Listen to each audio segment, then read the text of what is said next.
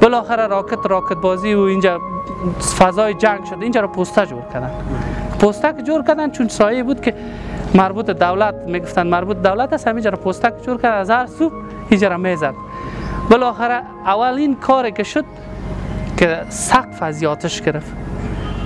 باز بالاخره از مالش از یادش تاراج کردن. حتی تا سنگای از این سنگ فرشای شکندن. این را باید جور کنه مسئولین بر از فکر کنه که یعنی یک سایه تاریخی بوده. حداقل اگر سینما جورش نمی‌کنه یک موزیم. یک موزیم آثار سابقه.